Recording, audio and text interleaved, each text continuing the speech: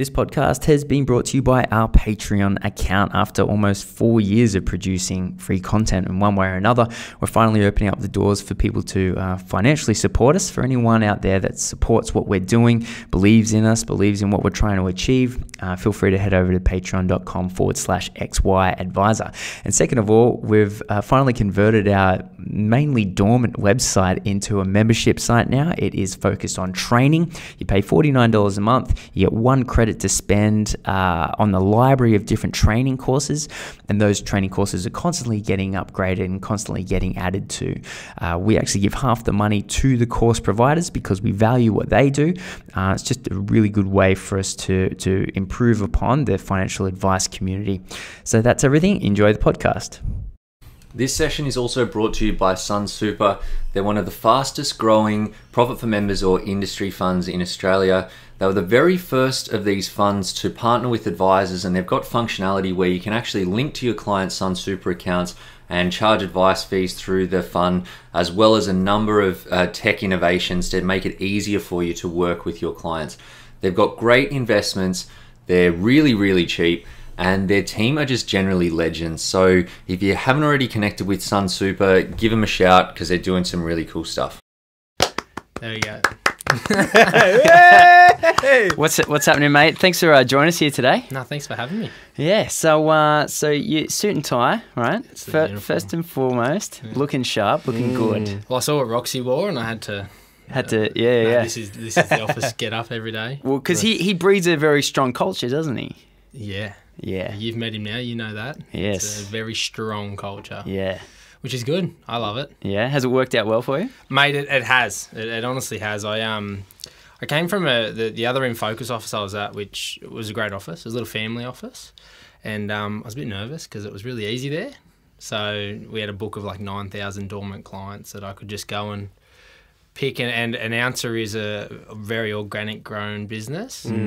And at the other one, I was the, you know, I was the young, energetic, high performer. And the Announcer office is uh, that's all they are. That's, that's, that's so yeah. So it was a big decision, hey, because it was sort of going from comfort to uh, this was either going to be my make it or break it step because there was no excuses. You know, everyone was doing well, so I had to go and do well, and I was no longer the best in the office, or you know, it was I had to step up. And What what made you jump jump ship? that that thought I thought for my clients like I I'll tell you what it actually was. It's there was two things. They I went for a sort of walk around in the business when they joined InFocus, and the two things I struggled through with in my business um, will not struggle. So so they have a core cul- culture here. We have a core culture. Practice what you preach. I love that. I, I used to hate going to events, right, and meeting with other advisors, and you start talking about, oh, what are you doing with with your portfolio? Oh, no, no, I don't invest. Like it, was- there was a lot like that, and I was like, oh, I hate that. Like, surely you got to do. You, do you have insurance? No. Like what? Like it was crazy, right? And that was one of the things was practice what you preach. So when you join an Announcer, everyone has to do a financial plan with Yeah, a nice. different advisor, which was a really good experience. Um, but the second one, which got me over the line, is I always say I would do this for free if I could. Hell That's yeah. my biggest downfall. Right, that is the biggest downfall to me as an advisor because I don't dollar value my service. Like I, I would do it for free. If I won the lotto tomorrow, I'd walk out and still do it and, and do it maybe at cost or whatever. I'd do it cheap. And what I loved when I joined, when I walked through an Announcer, is they said one of our core values is being successful. And I thought, okay, that's cool. So you you know you want to help your clients get successful. That's what I thought. And they said, yeah, we, our job is to make sure our clients are successful, and we want successful people. But We practice what we preach. right. we also make sure that we're not afraid of being successful either. We are doing amazing things for our clients, and we're making them successful. In in a uh, in an instance, we should be we should be remunerated and uh, and I guess be successful as well. And I thought, okay, this is where I need to be because That's awesome, because I wasn't charging like man, I was doing like full comprehensive plans for like fifteen hundred bucks mate. and I didn't I didn't know anything different. I, Yeah. I was and I was struggling to charge that. And then I don't know. I know Adrian was there. You might have been there too, Ray. Roxy gave a a value le- a seminar at top of AMP. Were you there? No, no, I wasn't. Adrian was definitely, and so was Jamesy Millard. But they, um, Okay. he gave that, and that was like the day he on the in the papers he joined InFocus, and I went, wow, you know. And he gave this about you about how to measure your value, and I thought, oh, this is Well, how long have you been there for now? just uh, this is my sixth month.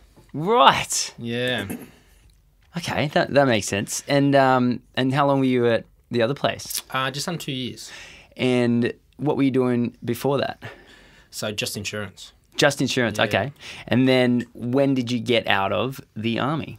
Yeah, so 2014, I left. That's I was going to put that down as my, my you know my story. That's my sort of my interesting piece. But I, I left. Um, I was going to be in the army forever. I loved it. Eh? Like I loved it. What, what, what did you love about it? Just everything. It was just I don't know. I just frothed on it. It was Yeah. awesome. Like, I'm a true Westy West Sydney bogan, and it was just that it allowed for that. It was great. Um, you know, physical. What a sentence. Yeah, I still am. I Just got to sit. I'm done it for you.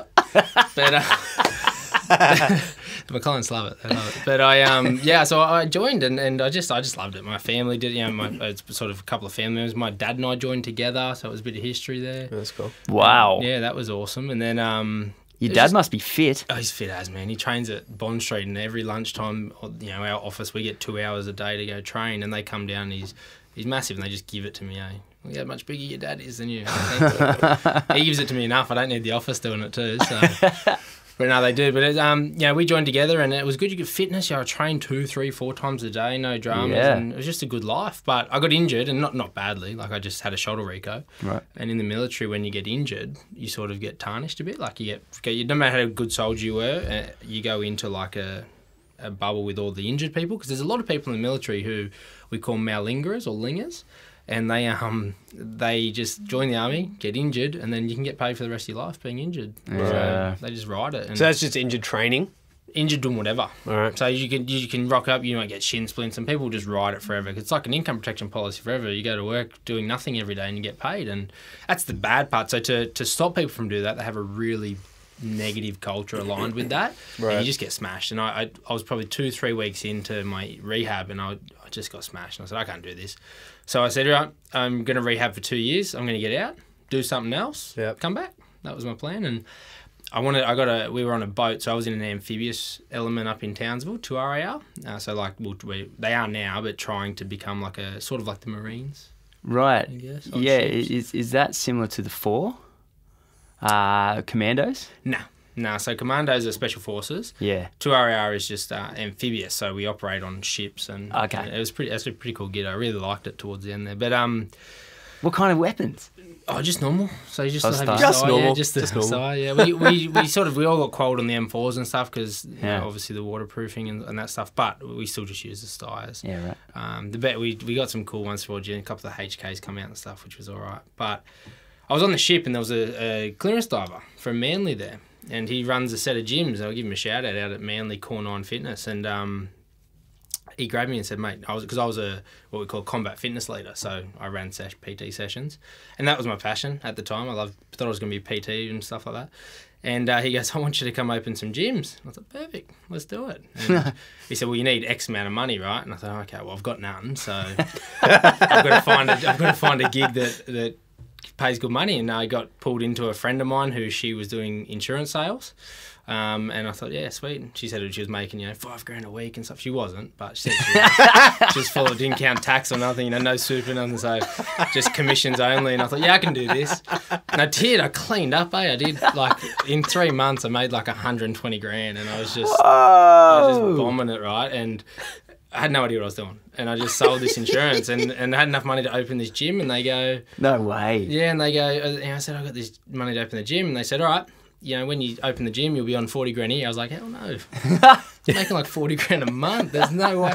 Idiot, right? And the, the, so I turned it down and we had sort of a falling out over it. Mates with him still now, but didn't do it. And then um, rolling forward, I sort of thought this is going to be me for the rest of my life. Didn't happen, right? Obviously, I started, you know, you're selling insurance. and I'm going, oh, uh, the ethics started kicking in. You know, There was no mm. more goal, right? I was just selling insurance. I'm going, oh, what am I doing? Like, I'm sitting with someone and I, do they really need this policy? And then I just started studying a bit and doing some, you know, case studies around finance. I started really enjoying the finance side, looking at people's budgets and cash flow, working on my own. And then I, I, we, you know, that business sort of grew and I still didn't really make, I made some money some months, no money other months. And it was a bit of a ride. Um, but I, then we started, I, we, one of the couple of the executives went into opening like a, a financial planning firm, but risk only at the start, but with the plan to. And I thought, yeah, cool, I can do this. And we, we got my diploma and went through that, and it was pretty enjoyable. But I, it never went that way. It still just stayed selling risk. And I was like, I hate this. I can't do it. So then I applied for a couple of jobs down in Sydney, and I got the call up from the, the, the firm I was at before here. Where was that? in Baulkham Hills at Pattinson Financial, and um, yeah, I you know having the the backtrack of the the course I was on, uh, sorry, the company I was with, having a look at that, it wasn't a great company. And they were going through, you know, ASIC had picked them up for some of the so, so none of my advice. 'cause I didn't give any advice. Yep. And I'd always made file notes saying sort of stuff like that, but Yeah. it sort of went a bit pear shaped, like Yeah. for them, which good that it should have happened because they, they weren't doing the best interest. So yeah. the boss said, "Look, I need you to start looking at a niche," and it was really good. He got me thinking some stuff, and I did a study on soldiers. So I did this. It was just like a my study, and it was I did about a week's worth. So I did fifty people roughly for an hour, and I just interviewed them on.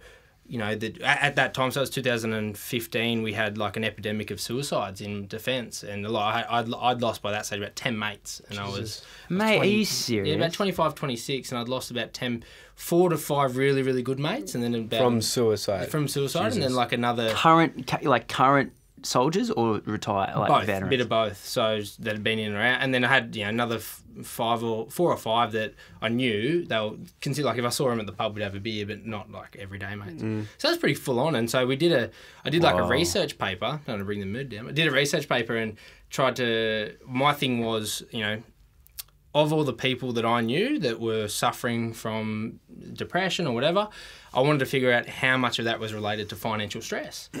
And long story short, about half, so roughly 50% of the people I interviewed that had experienced it said it started from financial stress. So that be no job, not just not having any money, gambling, drug addiction, alcohol, anything that caused not having money, right? Those things. So about 50%. And of the other half, the majority of those guys said at some stage through their PTSD or depression, money those same money troubles spiraled them deeper. And I thought, holy shit, this is huge. Like Yeah. I can do something here, and I, so that's where my sort of career kicked off. And I put that that research paper together for him, and he loved it. And then I started down there and started working with uh, military people a bit closer, which not great for advice. Military people, there's kind of some barriers there, but what I found was it wasn't just military people. It was miners, it was sports stars, it was just everyone. Like the, it was a very similar story for a lot of people, and I thought, wow, this is this is my avenue. And now I'm sort of I've kicked off my master's degree, and that's where all my theses and stuff are going to go is towards behavioural finance, but in the way of you know how does your psychological traits match your financial, or and vice versa, and trying to figure that out. So that's my career path. That's my future. Wow. Um, and it started out like that, and yeah, it's a really, a really cool little topic. I, don't, I think that that's where where sort of all my advice and my research goes, and that's how I got there, and that's where I am now. I'm an Announcer. They sort of do a lot of uh, psychological profiling, which you might have seen in the office. They have a lot yeah, of stuff yeah, there. yeah. Um, so that's cool. That's something we're trying to work closer towards. Yeah, I I walked around the office last night. All the color charts. My goodness, uh, I just I just couldn't fathom uh, the amount of thought that's gone into just simply even the office environment. The pods. I, you know, If you have What are, what are the pods? so. Do you, want- do you well, no, no, no, did you see? worked there. you? Okay, so uh, Clayton wants to work there. mate, I, I said because I haven't worked, I haven't We're worked for anyone since uh, since my I need a relationship manager. You want to? Ah. but I walked around. I was like, "Can I have a job? I'd love a job here." Because you, you know, each each each computer had sort of, uh, you know, your own personality. Yeah. A few things, uh, you know, sort of on it, like a little sign sort of above the screen, and Yeah. You so know. that's our HBDI profile. So that's Right.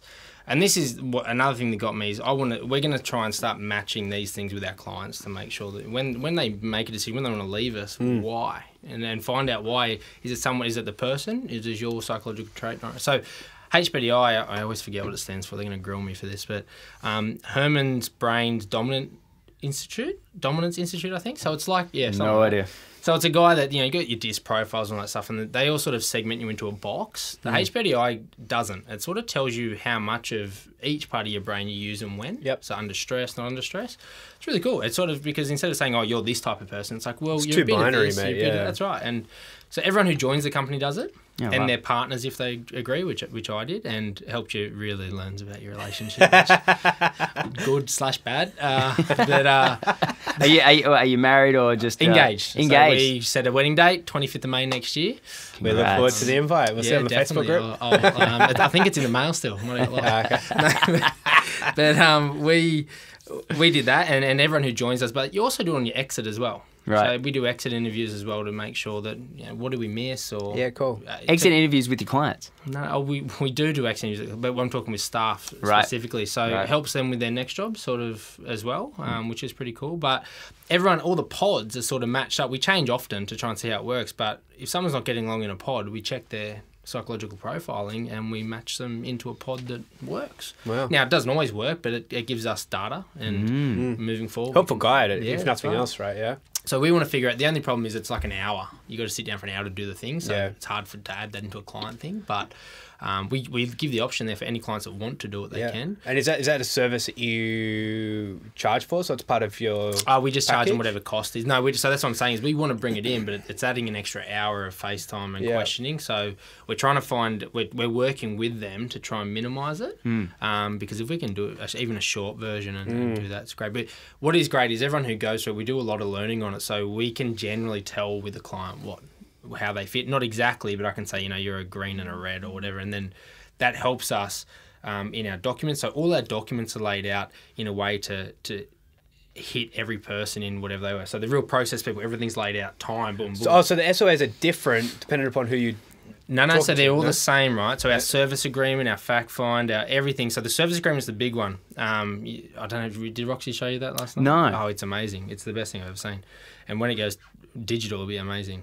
So it's it's very so it's for every because we're not going to have a different one for each person, but it covers off on every person, right? So if somebody's a process driven, analytical, the whole service agreement is lined out line items. You know, how much No time, way. how much does that cost? What do we do? What's every step of the way through it?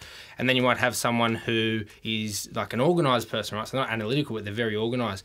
We've got, you know, stage one is, you know, protect it, insurance, or whatever. That's in one place. Grow it. So you you, know, your, your, your, your, your proposal document mm. is is delivered in in the form of communication that they like. A hundred percent. Now, the best bit about it is Wow. then we ask them at the start of the document, "How do you like to be communicated with?"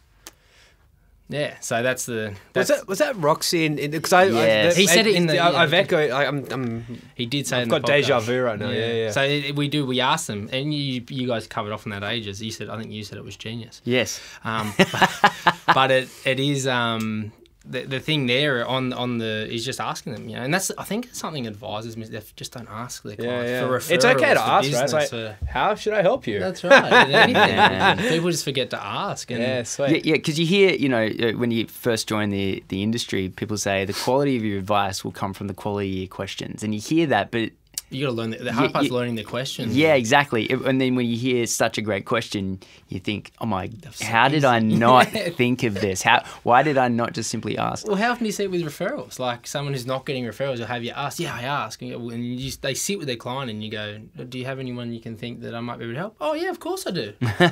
wow, like that, that Yeah. happens all the time. And- Yeah, yeah. But this document just lays it out, and then the the red side of things, which is like your people skills and, and emotive, is the person. That's the up to the advisor. So that you can't do that in a book. We've got creativity in the book, so it's all colourful. But someone who's a, a relationships and emotional, which is what we call red, um, that's up to the advisor. That's You've to kinda be you, that yeah. person. Yeah, Yeah, yeah. So if that's who the person is, they probably won't read it much, but they'll they'll engage with you on Huh. that. So There you go. Instead of delivering advice to what's comfortable for the advice Advi- yeah, that's deliverer, it's it's it's what's comfortable to the person receiving it. it's a percentage game, sense. really. You know. oh man, We're all about high percentage plays. All yeah. about high percentage plays. You wouldn't tell I go for Parra because they. Man, I'm with you. I'm with you. I, uh, I went. I was at the 2007 grand final, uh, where where we got ripped off by the cheaters. by the cheaters, and it was Hindmarsh's and Cayless's last opportunity Oh, to win, and they should have won because we had lost at the grand final, but then Melbourne got it taken away from them because they paid too much money to their players, and then we got nothing. No one got anything. We did get we get absolutely smacked. Wow. We do get we get That's- absolutely it- the No, craziest thing about this, this day. has happened over a decade ago, and you guys are still Hey, I'm salty. not. I'm not salty. I am. I'm not Right, salty for a Very very salty. key reason. The Blues won One hundred percent. Should have seen. I I've been, on Wednesday. I've been rubbing that into the office hard. I'm Yeah. so happy because I'm real like I don't really follow the NRL, but I'm a I love the Blues. It's just a different beast, isn't it? I'm and a- I, I, I I'm a know rabid what it's like now to have the refs on your side. I could say that. I could have no no no. I'll call it where it's due. We've had 11 years of the a ref against us. this is this. I was like, oh, this is what this is what it feels like to be on the nice end of, of the referee calls because about to dive through the I'm, wa- I'm, wa- I'm watching these I'm watching these plays and I'm like, well, how did how did we get that ball? And I'm like, threw the ball behind the line. normally caught it after yeah, the line. no, well, I mean, obviously, like the momentum, as long as you pass it back and you're running Yeah, forward, yeah. the ball will go forward. So, so uh, that try, I don't have a problem with. Um, but just in general, you know, like when he when he stripped the ball out of him when he was just standing there, he just reaches around and go whoop, and then ref's like, "You dropped it," and I was like, "This is what it feels like." This is what it Well, feels I'm like. pretend I was feel like a blind to all of that, Queenslander. and we won completely on our own bat. Yeah. Mate, for so for for having it 11 years against us, it was uh, it was it was good to have it on our side for once. Um, I wanted to ask you about the the post traumatic stress disorder. Weird thing. It's uh, it changes its name every generation. Shell shock. Then it went to battle fatigue, and uh, and and and we keep sterilizing it, and to the point now it's post traumatic. PT. Yeah. Yes. Yeah, and, and then, and then we put it down to that. Like shell shock, you know, it sounds Well, it sounds physical, not mental, right? It's like something blowing up next to you, and you're just like you can't like. But yeah, but, but you get what it means. Yeah, yeah. PS, you know, mm. like you're like, oh, okay. Yeah, so- but I think it gets very generalised to defence the PTSD. But I think I think one of the reasons they sort of pulled that out is to make it more generalised to everything. So you can get PTSD from any traumatic event. It doesn't Yeah. have to be military related. But I think the military sort of has grabbed it and run with it, and um, we missed that piece. But it is a serious thing. It's um, I think what it has done is it's opened up more generalised conditions to fall within that because we a lot we have a lot like a lot a lot a lot of defence members that didn't serve. So myself, I didn't do a deployment, um, and or no active deployment, and they they still get depressed and you know Yeah. a traumatic event, for example, is discharging from the military. It's hard going into civilian life, and you got a lot. We got a lot of people that didn't deploy, and they have PTSD from from that or from also, you've done all this training for something you never Yeah. got Yeah, to execute right. on. You Imagine know? having to do like all the education for Yeah. financial advice. you do a degree to- or whatever, and like you kind of immerse yourself in a world for four or five years, and like, see ya. yeah, Yeah, it's huge, and- man. It's massive, and that's a like. I don't, I don't, I didn't get depressed or anything. I Yeah. had a good transition, even though it was what I explained before. But I um, Is that is that some of the things that you talk to your clients about about what it's like post military? yeah, definitely. So I get, I sort of did an um, Mia Taylor actually put me in touch with a. it Triple J or something. She was a interviewer for it might have been News Corp or something, and she was doing something on this. And I, I don't know if it'll ever get published because I kind of twisted it a bit in the way that there is a lot of victim mentality out there that I think, yeah, like it might, and this could, you know, I don't know how this would go down, but I'm the biggest defense advocate, and I'll help. And that, you know, this is why I do what I do. But you've also got to call it where, you know, call Yeah, a fish as a fish. You know what I mean? Like mm-hmm. I, you get someone who gets out and they they just expect everything handed to them, and there's so much help out there, and it is difficult. DVA is a nightmare to deal with, and I deal with them myself, but there, there- there's a line, you know what I mean? So mm-hmm. there's it's sort of got to make sure that when I speak with clients, is I do say that. I said, look, it's not easy, but it's no harder than anyone else out there. Like unless you are someone who's got PTSD from deployment and those kind of things, then yeah, you deserve all the help you can get, but you still have to go through the processes. Like, you know, you think about cops and ambos and stuff who have similar traumas on a more often basis. yeah, yeah. Um, they, they don't get they don't have the support. They get the on the job support, but when they leave the cops it's not. It's definitely not a support. Is that something you've productized, or is it is it purely just what just people?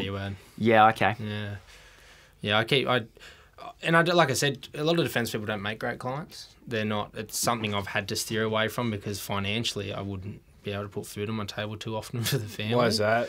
They don't. A lot of there's not. There, sorry, there is a lot of successful ex defense. A lot, right? But Yeah. they're not the ones that come through that stream. So my my father works for RSL Defence Care, which helps with DVA claims and stuff. Um, and previously, I did like a pro bono. Anyone who gets a payout from DVA, I'll help them use that Wow. money for pro bono, right? But I, at an Announcer, it's sort of a bit blurred. So Yeah. um, they. Uh, but I get a lot of referrals from their sort of third party coming through. They they get money or they, they need to know what to do and they do come in and Um, I sit down if I can guide them in the right direction with that, that's fine. But if they need advice, and I, I Yeah, you're pick- kind of a cool conduit into the two worlds, right? It's like yeah. I'm like you, I'm in a different world, right? Yeah, that's right, and that's a lot of my education on my LinkedIn and stuff. I try and do. I do target that toward defence because I want them to know. You know, there's people out there, and a lot of the people out out. You know, I'm probably a bit more outspoken. But a lot of the successful ex-military, they don't talk about it. You know what I mean? The you hear a lot. The reason that there's a lot of negativity around the ex-defence is because they're the ones you hear from, which is good because it brings light to the situation. But it's also bad because it kind of. And I've always said we're we're going to these people who are having a hard time transitioning, asking them what they need to transition. Why don't we go to the people who've done it well and find out what they did? Yeah. It's like you don't go to a homeless person and say, "What's the best way to buy a house?" Like, uh, like that's the reality of it. Yeah. So that's how I think it should transition. But um, That's a good point. that's how it sort of goes, and it's it's and that's why I think it's a big political play because you're looking like if you're going to the people who are struggling, you're getting their vote and you get you're giving them help directly. But I don't think it's the play we should be making. Um, but there's a big there's a big push for all that anyway. But no, I, I like to think that I'm sort of a bit of a help out there. That I do get a lot of military people coming to me, and they're probably not in our perfect client world. But you know, even as something as simple as a budget that I can just do on the spot and say, hey, go implement that and come back in 12 months, see how you're going. Like, that's a good value add, you know. Or my education series on Facebook and stuff and, and LinkedIn, that's a good value add for them. What, Yeah, what, what does that kind of look like? I'm kind of keen to like because yeah, technology is kind of an easy way to help serve a lot of people that don't fit the business, but you want to help them, right? That's right. So how do you kind of do that? Not very well at the moment, I think. Like, I do very ad hoc videos and sort Yeah, of, I, I know. you notice. I, mean, I get smashed all the time, but I don't care. Like, I don't- Snapchat doesn't count. No, no. no, No, mate, I like what you do. I like what I do too, and I often get told, you know, from other professionals that uh, it's not. I wouldn't watch it. I- I'm not targeting you, so that's fine. What what what do you do? I do mix. So I do like in my office. I'll do like a you know whiteboard stuff and do Cool. like a, a financial one. But I do a lot of on the walk, laying on the couch, in not In in, the s- car. in the car, get smashed for driving. Yeah, he does one in the car. He, all the comments are like, "That is irresponsible driving." Two comments. Don't say all the comments. There was two of them. How many comments were there? At least twenty. Ten with me.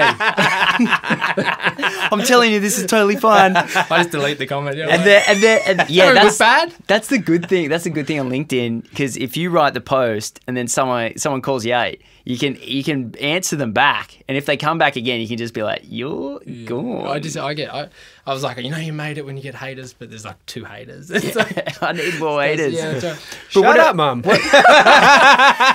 Mum, can you go on and hate on me? Can you please hate on me? Um, or, or uh, other things you do, uh, like talking about going for a surf or whatever. yeah. all that stuff. Do, do you find uh, the the the authentic thing on LinkedIn works? Yeah, so when I started Announcer, they're big on that marketing strategy, and it was very, very non-financial. Bring just be you. Bring your brand to the page, and that's who you market for. Yeah. But I like the financial, the educate. That's why I want to do that. So I mix and match, and I'm sort of the test dummy for an Announcer because no, we no one's had to cover compliance before because there's no financial literacy going out there. And now I'm bringing that. I've got to work with compliance to make sure what's okay. So it's good, but I find the authenticity works amazing. Like um, all my stuff, all my all my stuff gets targeted towards military. So my three core values are military, health and wellness, and sports. So targeting ex or current defence, um, PTs and And, nutrition. and, and being an Announcer, do you have to find your own potential clients, or is that something? 'cause- Yeah. Yep. So yep. it's very organically grown. Um, one of the biggest things I, you know, I always say is if I knew this stuff at my old firm, I'd be, uh, you know, unbelievable. But because there is no real client base, I do take over some existing clients from advisors that left or whatever, but very small number. But it is very organically Yeah. grown, which is which is good. Um, you know, that's what I used to do with the commission only role, I guess. But now knowing what, and doing the right thing and referrals are, are in abundance, you know, our partnerships, the the value add to clients here is huge. And, and I used to be a very transactional role. I thought it was ongoing serve, but it was still very transactional. The way we do it, and the way that I've been taught how to do it is just completely different. It's referrals. and who teaches you? uh, Ray. So have you met you met Yeah, Ray? yeah, So yeah. Ray Albrighton is probably oh, I'll go a limb and say he's probably one of the, if not the best financial advisor in Australia I've ever met. Um, I think there's a big difference between technical advisors and people, and he's Good got a great mix of both. But by far the best person I've ever seen to understand what a person wants and how to add value. Yeah. And that's what I've learned. Like, I'll never be good at the technical stuff. Like I said, I'm a West Sydney bogan.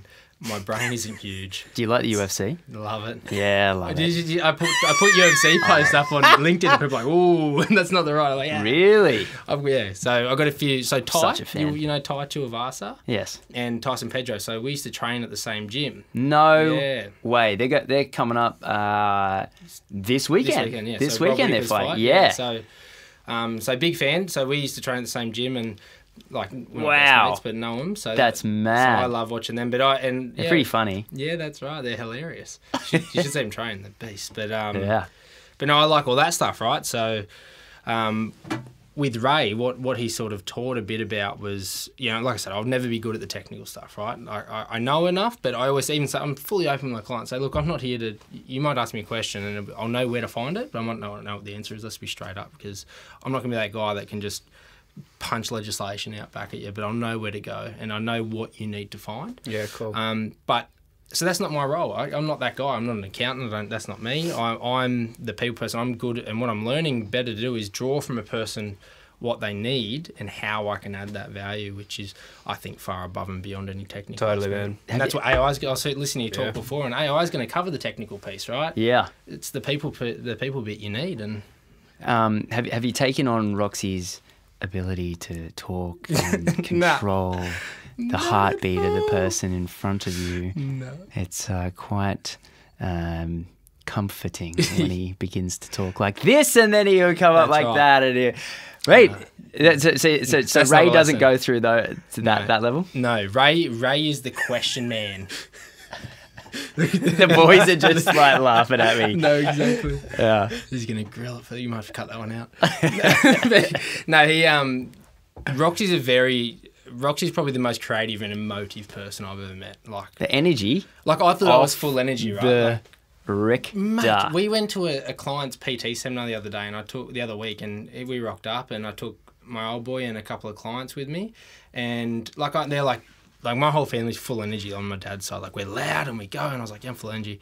He's just another level. Like he's Yeah. he was at the front by himself, and this was a, it was a pretty it was a really good seminar, but it was just it was a I think it was a long weekend, and like everyone was just kind of like, right, yeah, we've got to get out. Like it, it was pretty, it was feeling a bit mundane on there, but and he just lit it up. Eh? Like he had the room in stitches the whole time, and I was like. It's a nutrition seminar. What are you doing? and yeah, just his, his charisma. no one cares about apples this much, man. but he, he's, he's, his energy is just ridiculous. Where Ray, Ray's got good energy, and he's but he's he's so good at questions. Like he he has like a game where someone coming to the lift, uh, comes into the reception, and he'll. We all, everyone does it where we try and see who can get them, who can find out the most about that client in a short period of time, and he always wins. Like he's just, he'll find out everything in like two minutes, and it's just Yeah, man. He, he he. When I met him, he ran through me, and he's just got those eyes, right? You, Yeah, you- the- you- you're like, he knows everything about me already. Yeah, no. So, but I, mate, I've learned a lot there. It was it was a really good decision. Um, the, you know, it's it's a really good place to work, and just the culture is amazing. Like, it's phenomenal. You, you can't sit here and say it's a perfect place because everywhere's got their ups and downs. Right? Sure. the way it is. That's the corporate life and high stress. But I couldn't imagine like. I couldn't imagine working for another company again after that. The only thing would maybe be, you know, my own business somewhere down the track. But Yeah. if I was going to stay anywhere, it would announce it's just the culture's phenomenal. It's, So what's what's kind of the I guess five year plan? I mean, six months in, you kind of get a sense of what the what the Yeah. go is. What kind of So this was like a two-year plan Okay. initially. Um, ambitious? yeah, that's right. just opt-ins. just cover my opt-ins. and out. no, but uh, I um I don't know, mate. Like I, the more I stay here, the more I think you know there's partner roles and positions there that could go. I do. I do have this squeaky passion one day to open my own firm because there's just some edgy things I want to do that Yeah, cool. you know no one else No one will- else will say yes. That's right, hundred percent. Like it, it would Yes, never yeah. happen. I, and I've, I've even looked into if I could do it on the side. Like um, I've said, and this is it's not a secret. I've said many times where I think ASIC is always going to want advice to move towards transactional roles where people pay for something, cut it. The relationships are always going to be hard. Now I don't agree with that. I think the relationships are the best part of it, but. I think every business model should at some stage have a, a consultancy role built into their package where people can come and pay for advice as they go. So you know, an hourly rate and pay. For, you know, I, I no advice. It's just I want to come in. I want to talk to you about this. Give me the pros and cons. Let me make my decision Sweet. and move on. Right. And I've always wanted to run a model like that, um, and I couldn't do it. Announcers, that's not our, our brand, but I just there's something about that that I've always loved, and somewhere down the track that might be a, a goal. But I think that's pretty much the only real edgy thing that I'd want to do differently. Maybe a different target market, but um, Which I guess kind of is you talking to maybe guys that are in the military or coming out and, and talking to them maybe as a group yeah, that's right. and that sort of stuff. Well, that's where it come from, right? Because Yeah. I actually it, there's two things the way the military is going to solve their blunder with finan- help giving soldiers financial help, and that's tech. And I've worked with a few fintech providers that are in talks, which that looks good, like little tech strategy where you can put in a you know go in go through and enter like a fact find stuff and it spits out a general SOA, right? That's all right, but they're still missing something there. I think what they need to do is open up a financial consultant or coach role within Yeah. the military, like you enlist, and because they've got lawyers and, and accountants, CFOs, stuff like Religious people as well. That's right. So Yeah. Uh, how can you not have someone that's like, I mean, there's, uh, and imagine, but imagine how good of an advice role would be. No product. Yeah, totally. No product. You wouldn't be allowed to do product. Well, but that's, That's the mad. thing, right? It's kind of Toby. what? what? So that's where I could do the consult. That's where I, Yeah, could, I cool. thought maybe I can consult to them on how to set it up and stuff like that. Or be the dude. be the dude. That's right. Yeah, yeah.